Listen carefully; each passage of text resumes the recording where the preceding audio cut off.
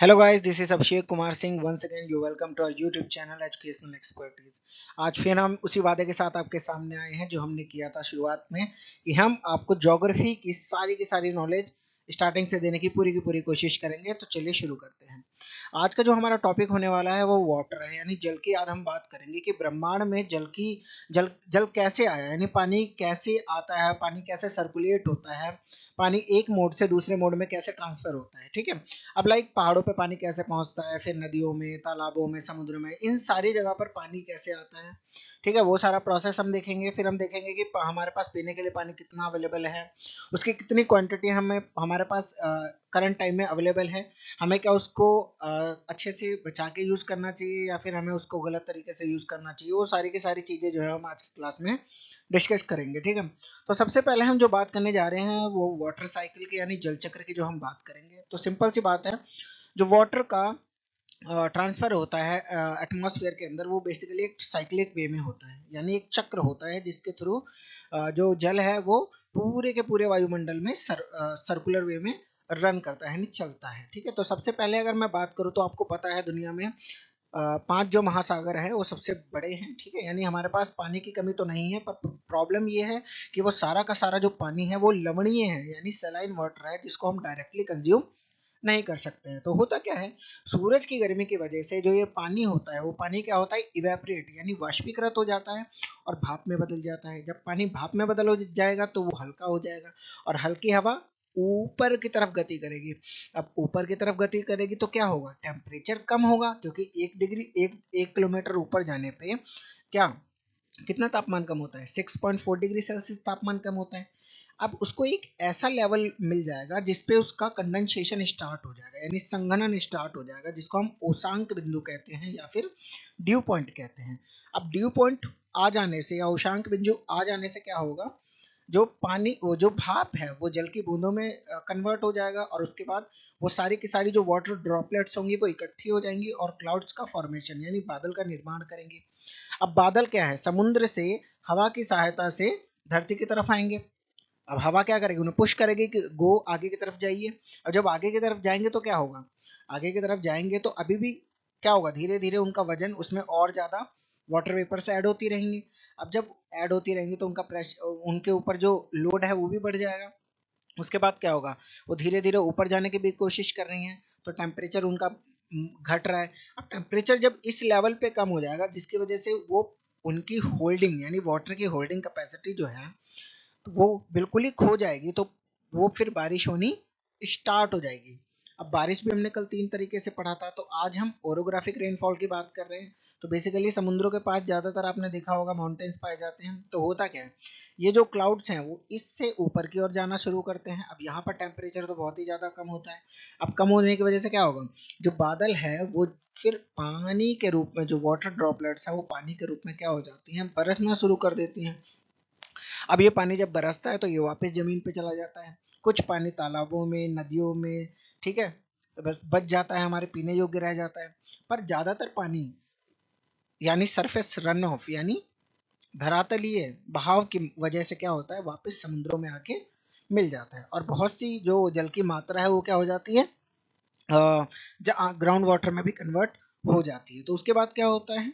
Ground water recharge भी हो जाता है अपना। तो इस तरीके से जो वाटर का एक साइकिल है, वो चलता है। और जो रन ऑफ़ की वजह से जो एक्स्ट्रा वाटर होता है, वो वापस समुद्र में चला जाता है। फिर वही प्रोसेस दोबारा से स्टार्ट हो जाता है। तो ये जो प्रोसेस है, ये कंटिन्यूसली क्या करता है? चलता रहता है। इसी को हम क्या कहते हैं? वाटर साइकिल के नाम से भी जानते हैं। ठीक है? आगे बढ़ते हैं। तो अब हम बात करेंगे the major source of fresh water यानी हमें ताज़ा पीने का पानी कहाँ कहाँ से उपलब्ध हो सकता है। ठीक है? अब ऐसा तो है नहीं कि हम समुद्र के पानी को डायरेक्ट कंज्यूम कर लें। ठीक है? क्योंकि समुद्र में पानी तो बहुत है, पर वो पीने योग्य नहीं है। क्यों? क्योंकि वो उसके अंदर बहुत सारे लवण है। ठीक है? तो अब हमें पीने का पानी कहाँ से उपलब्ध होता है? तो हमारे पास बेसिकली कुछ ही सोर्स होते हैं जैसे वेल अब वेल जो है वो हम जब ज़मीन में हम बहुत गहरा गड्ढा खोदते हैं तो क्या होता है? एक ग्राउंड वाटर जो हमें मिलना शुरू हो जाता है तो वो वेल की मदद से हमें मिलना शुरू हो जाता है। फिर दूसरा जो सबसे इंपॉर्टेंट सोर्स है, जिसके बारे में हमने बात करी, वो है रेनफॉल यानी बारिश की वजह से भी हमें पीने का पानी मिलता है। बेसिकली अब क्या हो रहा है कि रेन वाटर हार्वेस्टिंग टेक्निक यानी वर्षा के जल को हम संग्रहण करने की बहुत सारी विधियाँ अपना रहे हैं। क्यों? क्योंकि हमें पता है जो पीने योग्य पानी है, वो दुनिया में बहुत ही कम मात्रा में हमारे पास उपलब्ध है। तो हम क्या करेंगे, अगर हम बारिश के पानी को बचा लेंगे तो उससे क्या होगा? हमारी जो जरूरतें हैं जल से संबंधित तो वो सारी की सारी बहुत जल्दी हमारी पूरी हो जाएँगी। पर अगर हमने पानी बारिश के पानी को नहीं बचाया तो क्या होगा? नहीं बचाएँगे तो सबसे बड़ी प्रॉब्लम यही है कि जो पानी है, वो सारा का सारा रन ऑफ़ होके समुद्रों में वापस चला जाएगा, यानी पानी बर्बाद। इसीलिए हमें रेन के वाटर को बचाना बहुत ज़रूरी है। और तीसरा जो सोर्स है वो है स्ट्रीम स्ट्रीम यानी नदियाँ. अब ज़ाहिर सी बात है, ज़्यादातर जो आपकी नदियाँ हैं वो पहाड़ों से निकलती है. पहाड़ों में क्या होता है? जो ग्लेशियर्स होते हैं, वो धीरे धीरे पिघलते हैं और वो उन नदियों को जल, वो उन नदियों के जल के स्रोत होते हैं. जैसे गंगा नदी का जो जल का स्रोत है, वो गंगोत्री है. यमुना नदी का यमुनोत्री ग्लेशियर से निकलती है. तो ऐसे ही जो इन नदियों का स्रोत होता है, वो ग्लेशियर्स होते हैं. फिर हम बात करते हैं टैप की, यानी टोटी से जो पानी मिलता है, वो तो आपको पता ही है, आपके घरों तक पानी जो सप्लाई होता है, वो टोटियों के थ्रू ही होता है। फिर लेक लेक फ्रेश वाटर के सोर्स तो हैं बट लेक के अंदर जो वाटर होता है वो एक मतलब स्थिर पानी कह सकते हैं कांस्टेंट वाटर जो होता है और उसके अंदर बहुत सारे पॉल्यूटेंट हो, भी होते हैं यानी वो प्रदूषित पानी होता है क्यों क्योंकि वो बहता हुआ पानी नहीं है। अगर बहता हुआ पानी होता है तो हम उसे साफ़ पानी मान भी सकते हैं पर वो एक जगह रुका हुआ पानी है उसके अंदर बहुत सारी काई होगी बहुत सारे जर्म्स होंगे तो वो पीने योग्य नहीं होता है। हाँ पीने के अलावा हम उस पानी का बहुत तरीके से यूज़ कर सकते हैं। बट आई थिंक पीने के लिए उसे यूज़ करना हमारी बॉडी के लिए हार्मफुली होगा। ठीक है? हम बात करते हैं ocean bodies and seas contain salty water देखो, उनके अंदर बहुत ज़्यादा सॉल्ट होता है। ठीक है? फिर हम बात करते हैं ओशन का वाटर सॉल्टी होता है। It contains large amount of dissolve salt अब देखिए, समुद्र में सॉल्ट आया कहाँ से? तो सिंपल सी बात है, जो रिवर्स वगैरह होती है, वो पहाड़ों से निकलती है तो इरोजन करती हैं तो उन्हीं पहाड़ों से, उन्हीं रास्तों से उनको वो सॉल्ट मिलते हैं और वो सारे के सारे सॉल्ट कहाँ पर? वो एट द एंड ओशंस में जाके गिरा देती हैं या मिक्स कर देती हैं, ठीक है? जिसमें सबसे इंपॉर्टेंट जो सॉल्ट है वो बच्चों सोडियम क्लोराइड यानी समुद्र के पानी के अंदर नंबर वन सबसे ज़्यादा क्वांटिटी में जो हमें देखने को मिलेगा वो है सोडियम क्लोराइड ठीक है? फिर हम बात करते हैं सेलिनिटी यानी समुद्र के अंदर जो सेलिनिटी कितनी है, उसका मेज़रमेंट कैसे करते हैं? तो सिंपल इसका होता है कि एक हज़ार ग्राम, यानी एक किलोग्राम पानी के अंदर कितना सॉल्ट उपलब्ध है, उसी को हम कहते हैं सेलिनिटी लेवल ठीक है? तो बेसिकली डेड सी इसराइल में है। एक मृत सागर जो है, वो इसराइल देश में है, जिसकी सेलिनिटी 340 ग्राम पर लीटर यानी एक लीटर पानी के अंदर 340 ग्राम सेलाइन है, यानी लवण है। तो वो कितना ज़्यादा खारी, खारा पानी हो जाएगा? तो दुनिया का जब सबसे सेलाइन सी है वो अपना डेड सी है, जो कि इसराइल में है। ये चीज़ आप नोट डाउन कर लीजिएगा, ठीक है? इवन उसके अंदर सैलिनिटी इतनी ज़्यादा है कि कोई भी स्विमर है बिना तैरे वो डूब ही नहीं सकता। मतलब अगर वो नहीं भी तैर रहा है तो वो डूबेगा नहीं, ठीक है? फिर हम बात करते हैं डिस्ट्रीब्यूशन ऑफ़ वाटर बॉडीज तो अभी हम बात कर रहे थे कि पानी जो है वो हमें किन किन रूपों में प्राप्त होता है? सो, समुद्रों में अगर हम बात करते हैं सौ प्रतिशत पानी की तो इस ग्राफ को अगर हम देखते हैं तो 97 परसेंट जो वाटर है, वो क्या है? सेलाइन वाटर है, यानी खारा पानी है 97 परसेंट। तो सोचिए हमारे लिए जल जल बचाना कितना ज़रूरी हो जाता है, ठीक है? उसके बाद तीन परसेंट जो पानी है, वो सिर्फ़ फ्रेश वाटर है। अब तीन परसेंट पानी में से भी कितना हमारे लिए उपलब्ध है, ये जानना भी बड़ा ज़रूरी हो जाता है।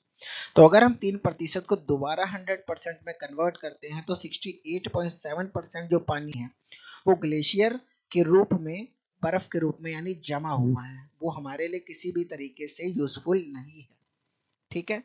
फिर थर्टी पॉइंट वन परसेंट जो वाटर है, वो ज़मीन के नीचे है। और अगर हमने सारा ज़मीन का पानी निकाल लिया तो उसके भी बहुत सारे नुकसान है। क्यों?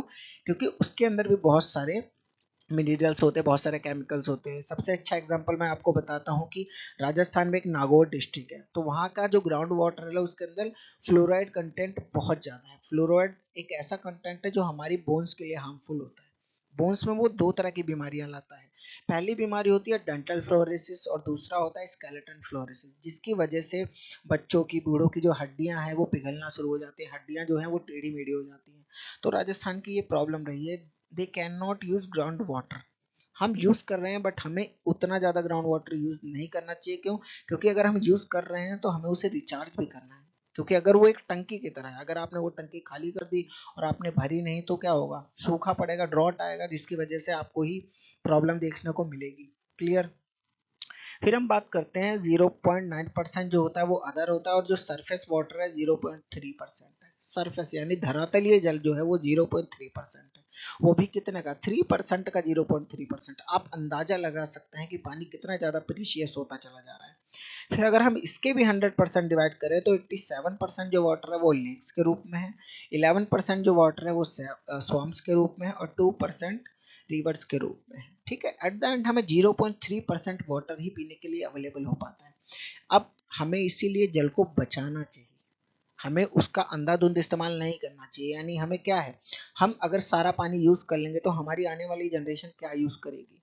अगर हम इसी बात को हमें फोकस रखते हुए पानी को क्या करना चाहिए? पानी को बचाना चाहिए। जितना ज़्यादा हो सके उसे बचाना चाहिए। ठीक है? सेव वाटर सेव लाइफ फिर हम बात करते हैं ओशन सर्कुलेशन यानी समुद्री परिसंचरण। देखो सर्कुलेशन का मतलब क्या होता है? पानी का अपना एक बहाव होता है। ट्रॉपिकल रीजन से पानी ध्रुवों की तरफ़ जाती है, क्योंकि उसे विंड्स जो हैं, जैसे ट्रेड विंड्स हैं, जो वेस्टर्लीज हैं, उनको क्या करते हैं पुश करती हैं तो वो आगे की ओर फ्लो करता है, ठीक है? तो इसी को हम एक परिसंचरण कहते हैं, यानी पानी जो है वो कॉन्टिन्यूसली फ्लो बहता रहता है, और ये कॉन्टिन्यूटी जो है वो कभी भी टूटती नहीं है। तो इसी को हम सर्कुलेशन करते हैं।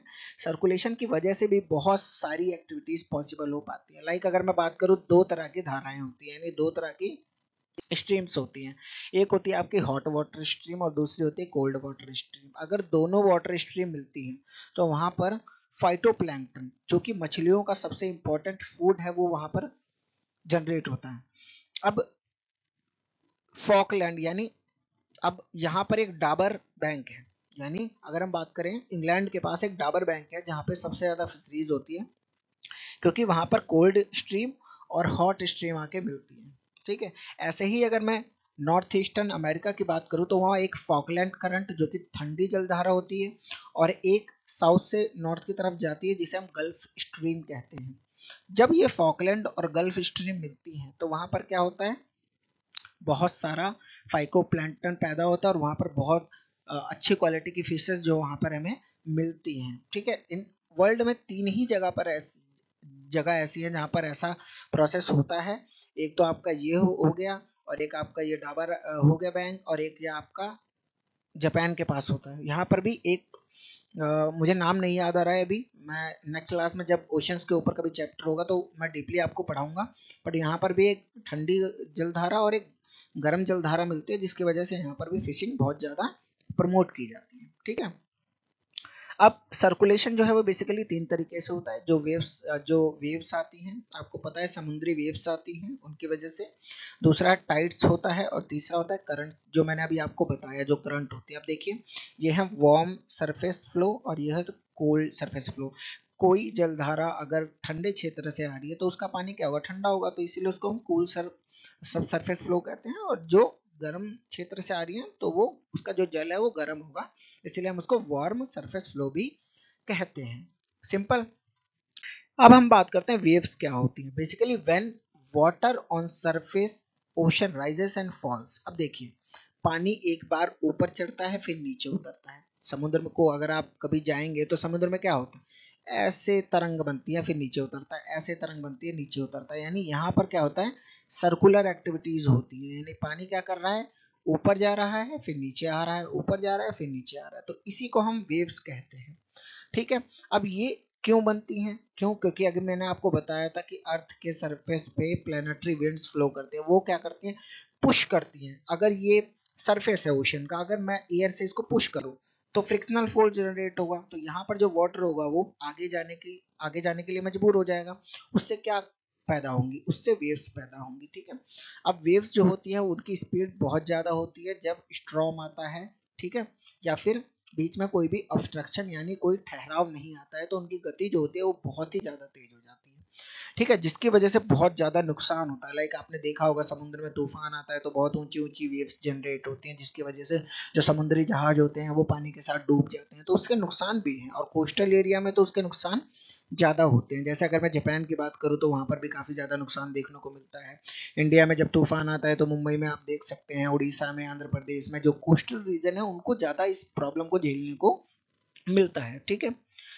अब हम बात करते हैं इसका सबसे अच्छा एग्ज़ाम्पल जो है सुनामी सुनामी यानी एक जैपनीज वर्ड है, जिसको हम हार्बर वेव्स के नाम से भी जानते हैं। तो बच्चों सुनामी आता कैसे सडनली क्या होता है कि समुद्र के नीचे सरफेस पे अगर अचानक अर्थक्वेक आ जाए या कुछ भी आ जाए तो उसकी वजह से क्या हो जाता है? बहुत ऊँची ऊँची वेव्स जनरेट होती हैं, जिसकी हाइट एक बिल्डिंग की जितनी भी ऊँची होती है, जिसकी वजह से जो हमारे कोस्टल रीजन होते हैं, उनके अंदर फ्लड आ जाता है और सब कुछ बहा के ले जाता है। तो उसी को हम सुनामी कहते हैं।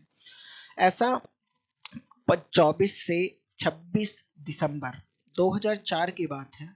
जिस दिन सुमात्रा आइलैंड्स के पास एक ऐसा ही अर्थक्वेक आया था और उस भयानक रात को आज भी कोई नहीं भुला सकता इतनी ज़्यादा सुनामी से तबाही हुई थी कि लोगों की गिनती नहीं की जा सकती थी। उसका असर सिर्फ़ लोगों पे ही नहीं हुआ, पृथ्वी का जो एपी सेंटर है, उसके अंदर भी थोड़ा बहुत बदलाव आया है। आप समझ सकते हैं कि ये जो नेचुरल डिजास्टर होते हैं, इनकी वजह से कितना ज़्यादा नुकसान हो सकता है। सुनामी को हार्बर वेव्स भी कहते हैं, क्योंकि हार्बर जो होते हैं, जहाँ पर शिप्स आके रुकते हैं, उनको भी बहुत ज़्यादा नुकसान होता है, ठीक है? इसीलिए उनको हम हार्बर भी कहते हैं। सिंपल सी बात है, अब हम पढ़ेंगे टाइट्स के बारे में, यानी ज्वार भाटा क्या होता है, ठीक है? तो सिंपल सी बात है कि ये हमारी अर्थ है और ये हमारा मून है, ठीक है? तो होता क्या है कि मून का एक अपना गुरुत्वाकर्षण बल यानी ग्रेविटेशनल फोर्स होता है। तो मून क्या करता है? जो जो पृथ्वी पर जो जल होता है, उसको अपनी तरफ़ आकर्षित करता है। तो क्या होता है? वाटर की जो हाइट जो वाटर जो है, वो ऊँचा हो जाता है, यानी राइस बन जाता है। लाइक अगर मैं यहाँ एक प्रेशर है तो यहाँ पर जो कोई वाटर है तो एक ऐसा राइस बन जाएगा। तो इसको हम क्या कहेंगे? हाई टाइड कहेंगे। ठीक है? अब उसके बाद यहाँ का जो पानी है वो भी इधर ही शिफ्ट हो गया है और यहाँ का जो पानी है वो भी इधर ही शिफ्ट हो गया है, जिसकी वजह से यहाँ पर तो पानी की क्वांटिटी कम है, यानी यहाँ पर नीचे एक ऐसी जगह, खाली जगह बन जाएगी जिसको हम लो टाइड कहेंगे। तो हाई टाइड में quantity of water will be increased और लो टाइड में जो क्वांटिटी होती है water will be decrease as simple as इसको समझिए due to the gravitational force of moon यानी जो चंद्रमा है, उसके गुरुत्वाकर्षण बल की वजह से ऐसा होता है, ठीक है? अब high tide it it is high tide when water covers much of shore by rising its high level अब ये समझ लीजिए, ये अपना इंडिया है। अब यहाँ पर बहुत ऊँची लहरें आ रही हैं तो ये हमारा हाई टाइड हो जाएगा। और जब ये लहरें वापस नीचे हो जाती हैं तो ये लो टाइड लो टाइड हो जाता है।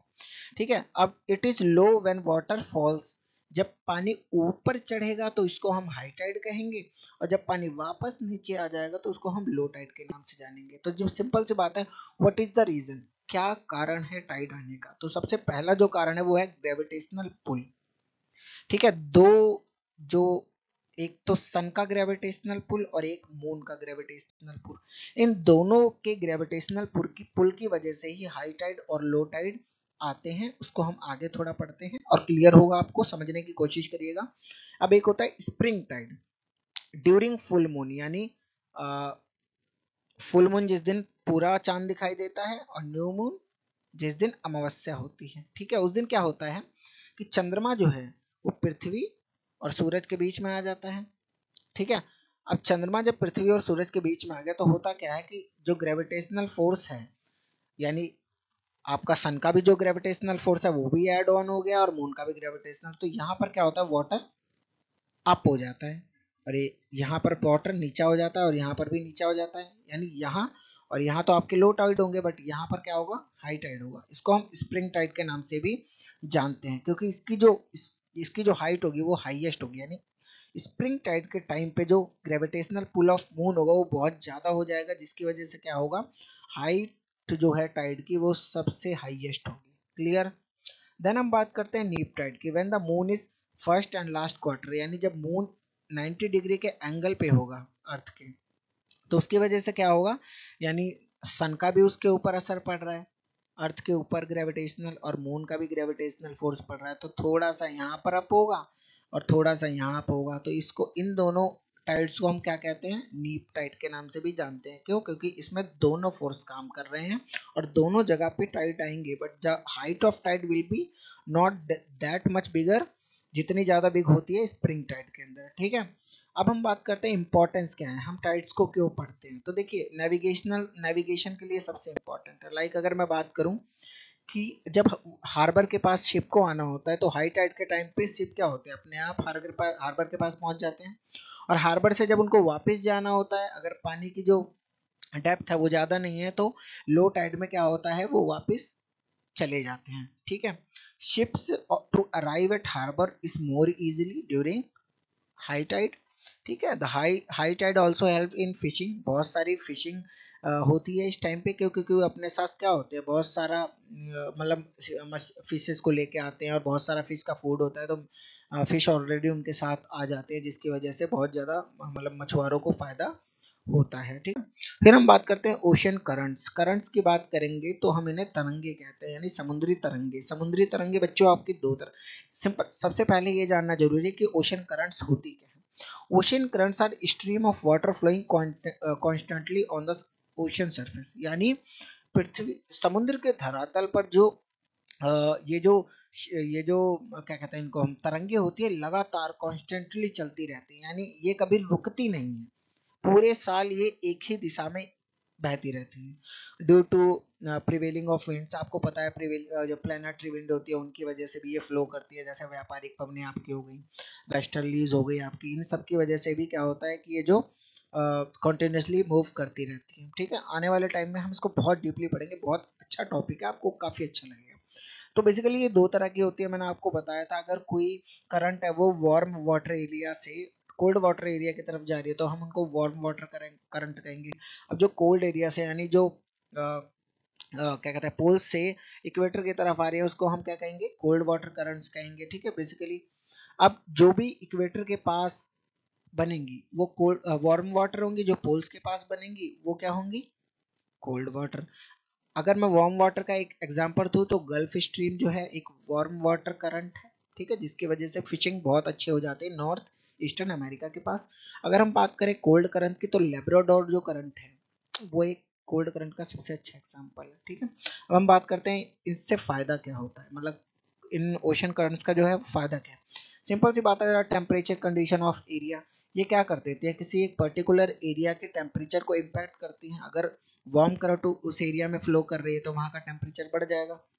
अगर कोल्ड करंट वहाँ पर आती है तो वहाँ का टेम्परेचर क्या हो जाएगा? कम हो जाएगा। ठीक है? ये आती हैं warm current bring warm temperature over the land मैंने अभी आपको बताया कि ये क्या करती हैं? जहाँ जाती है, वहाँ पर टेम्परेचर को क्या कर देती है? वार्म यानी गर्म कर देती हैं। अब वार्म एंड कोल्ड करंट जहाँ मिलती हैं बेस्ट फिशिंग ग्राउंड वहीं पे बनते हैं। ये चीज़ मैंने आपको अब भी बताई थी। जापान में मैंने आपको बताया था, नॉर्थ अमेरिका के ईस्टर्न कोस्टल की बात भी मैंने आपको बताई थी। तो ये बहुत इंपॉर्टेंट हो जाता है। आपके लिए जानना। अब वार्म एंड कोल्ड जहाँ पर वार्म एंड कोल्ड करंट जहाँ पर भी, यानी ठंडी और गर्म जलधाराएँ जहाँ भी मिलेंगी, वहाँ पर क्या होगा? बहुत ज़्यादा फॉगी वेदर हो जाएगा। ठीक है? फॉगी वेदर इसलिए होगा क्योंकि देखो ह्यूमिडिटी होगी एयर के अंदर, जब वो अचानक ठंडी होगी तो वो भाप में कन्वर्ट हो जाएगी। फॉग बहुत सारा वहाँ पे अपने आप आ जाएगा। ठीक है? देन हम बात करते हैं कुछ ओशन करंट्स के बारे में जान लेना बहुत ही ज़्यादा इंपॉर्टेंट हो जाता है आपके लिए। तो इस ग्राफ में आप देखिए, जो रेड कलर है, वो डिनोट कर रहा है वार्म करंट्स को और जो कोल्ड करंट है, वो ब्लू कलर से डिनोट किया जा रहा है, ठीक है? तो जो ये देखिए, इसको हम नॉर्थ इक्वेटोरियल करंट कहते हैं, जो इक्वेटोरियल रीजन से वेस्ट की तरफ़ फ्लो करना स्टार्ट करती हैं। जैसे ही ये इस कोस्ट इस रीजन से टकराती हैं तो ये ऊपर की तरफ़ जाने के लिए मजबूर हो जाती हैं, जो कि गल्फ स्ट्रीम के नाम से भी जाना जाता है। वैसे ही आप यहाँ पर नॉर्थ इक्वेटोरियल करंट को भी देख सकते हैं। यहाँ पर ये जो ईस्ट विंड ड्रिफ्ट है ये सारी की सारी क्या है? ये ठंडी करंट्स हैं ठीक है?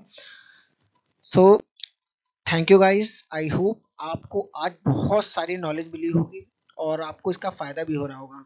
सो so, ध्यान देने वाली बात यह है कि आप इस वीडियो को उन लोगों तक ज़रूर पहुंचाएँ जिनको ये टॉपिक समझ में नहीं आता आई थिंक उनको बहुत जल्दी से ये चीज़ें समझ में आ जाएँगी। और यहाँ तक आए हैं तो वीडियो को लाइक ज़रूर करें। थैंक यू गाइज़ आपके सपोर्ट के बिना इस चैनल को हम आगे नहीं ले जा सकते हैं और इस चैनल का एक ही मोटो है, आपको लाइफ टाइम सारी की सारी जो जोग्राफी की नॉलेज होगी या कंटेंट होगा free of cost available available होगा, कभी भी हम इसकी कोई भी चार्जेस नहीं अप्लाई करेंगे। Thank you guys